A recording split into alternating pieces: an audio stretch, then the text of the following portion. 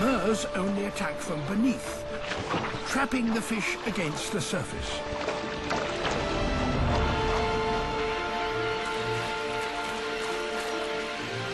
But they push the herring within range of the gulls. It's a feeding frenzy.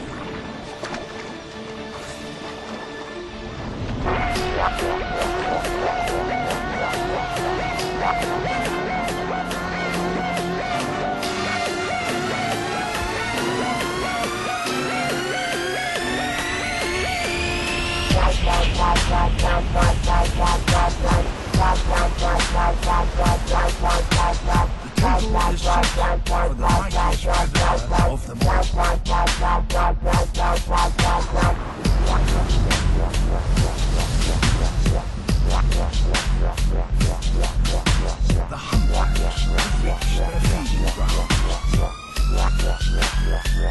yeah, yeah.